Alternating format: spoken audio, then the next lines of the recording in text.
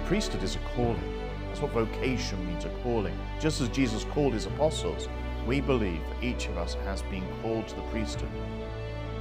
This is for the mission. I serve these people so that they can go out on mission.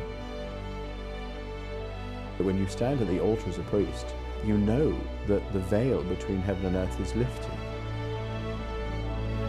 In persona Christi, a priest is to make visible the purpose of God, make accessible the power of God for the salvation of souls.